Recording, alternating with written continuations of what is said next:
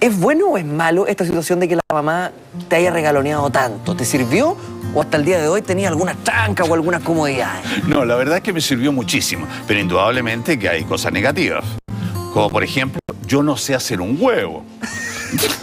A mí se me queman la ensalada. No sabéis prepararte en unos cereales. No sé nada, no sé hacer nada. Claro, lo, uno aprende. Los cereales se echan y se revuelven ahí. Eso no cuesta. Y hacerse un huevo no cuesta nada. Y, hace- echarle aceite a la ensalada tampoco cuesta.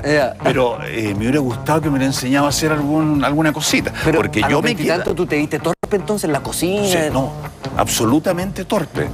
Torpe absoluto. No, yo, yo no sé hacer nada en la cocina. Me dicen, oye, ¿por qué no te plancháis una camisa? ¿Planchar qué es eso? ¿Planchar? En cambio, ahora los chicos les enseñan todo. Y es bueno que así sea. Uno tiene que saber todas esas cosas, pero mi mamá, no. Uno era el hombre de la casa y no. Ella hacía todo.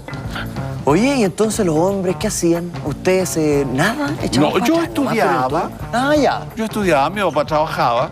¿Viste? Estudiar por un lado, trabajar por el otro. ¿Y la relación entre tus viejos cómo era, Adriano? Muy buena, Muy muy, buena. buena. Yo no los vi nunca discutir ni pelear. Ellos lo hacían, pero para callado. Ellos se apartaban. Yo nunca en mi casa vi una discusión, una pelea, a los gritos, ni nada. Y vi que sé, cada dos meses eh, mi papá en el almuerzo intervenía y decía, eh, vieja, no, eso no. Pero es que, no, no, eso no, Mm, mm, no. Y era no. Pero después pasaban ocho meses y volví a intervenir, pero en este lapso de dos meses era cubierto por las decisiones de mi madre. Si, mi madre decidía todo, absoluta. Era mi apoderada en el Instituto Nacional, por ejemplo.